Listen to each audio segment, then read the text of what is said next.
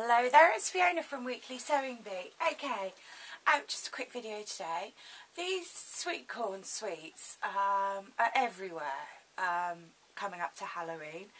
And, um, well, they're everywhere in the USA, probably not in England. But that's what we're going to do. Um, white cotton, orange cotton. And we are literally just going to make a cushion out of these. So I've got my white square folded over. Now even, yeah, and then I need um, a matching length, two matching lengths of the orange, which I can get away with. And the yellow needs to be on the top. And it looks just like a sweet corn kernel. Now what I'm going to do is I'm going to sew this flat and then I'm going to pucker little corners in the the corners. Yeah that doesn't make any sense. I'm going to pucker little corners in the corners just to give it rigidity so that it looks more square. Now Now these are my crafting fabrics, so they are different densities and everything else, which is all fine. Um, gives it that authentic look. And of course I will be making a few more of these, but off camera, and be using them as scatter cushions.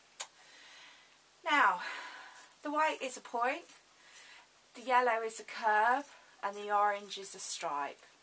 So now that I've got these cut out, I'll be able to lay them out so you'll be able to see just a bit better. Mm. And the yellow goes on the top and the orange goes in the middle. Yeah, I know. I'm only saying that so I tell myself it, really. Now we can just trim that through the middle. And the last thing we need to do is we need to make this white one into a point. So I've got this two-fold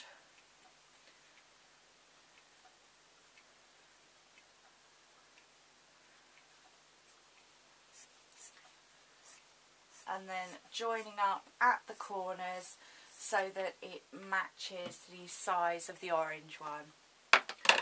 Now I've got my sewing machine set up on quite a large stitch. Um, yeah, just because it doesn't need to be particularly strong. I'm going to start off with sewing the bits together, which is always a good thing for me. And then I am going to sew all the bits to the hole. Now I've chose to use orange thread.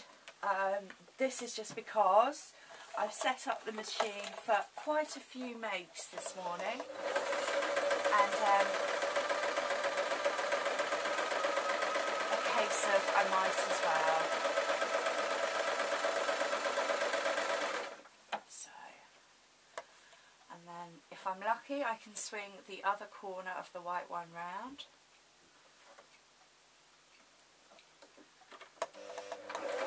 Now the reason I try to sew without stopping the machine is you're less likely to have a problem. And it is important to get all my outside seams on the outside. Now one of the things that's a good thing to do is to put my turning around hole in between my stripes. It's always better to have your turning around bit in a part of the construction that's flat so what I'm going to do is I'm going to reverse stitch because this is the seam that's going to get the wear. I'm going to pull this out and then I'm just going to put it in. I'm not going to cut the thread. So there we go, lower it down and then continue sewing. So I'm going to take my orange of the other side, make sure that the stitches are on facing up so that I know that they're all around the outside and then I'm just going to sew this one straight through. It's as simple as, and then we have a very dramatic looking cushion. Now, I made the felt one here, and um, these are kind of good if you want to add them to bits of decoration and everything. Um, and they're very simple and exactly the same. We um, one stripe, two stripe, three stripes. So that's what I'm left with.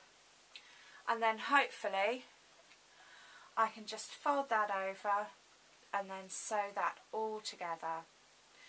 Now it's going to be sewn in a complete circle so I'm not going to worry about um, leaving any gaps or anything. Alright, I'm going to get on with that and I'll be right back with you. Hi, welcome back. Okay, so, alright, if you looked at it, you'd think, oh, I've just gone slightly wrong there. But what I've actually gone wrong at is the stuffing is in quite big balls and I do need to pull it apart. But other than that, I have my sweet corn cushion for scattering of. Um, I do need to sew up the join here. This is just the hole we made. And because we've done it on the flat, all I need to do is just pinch those seams. You can see naturally they're curling in. And it is a matter of forcing it underneath the sewing machine. And you can see because I've got such a lightweight sewing machine here um, I think it's actually quite funny but um because the other one it doesn't move around like this. But yes. Forcing it under there making sure I've got both sides and while it's sewing making sure that the bulk of the cushion doesn't push off this join. So yes I could sit here and get my um, stuffing sort of rebounced. But in a way I know that because I've just pulled that seam right out I can now do that. And um, yeah do you know, I kind of like it looking a bit funky, but you can see that there's great big balls of stuffing rather than me teasing the stuffing and then restuffing.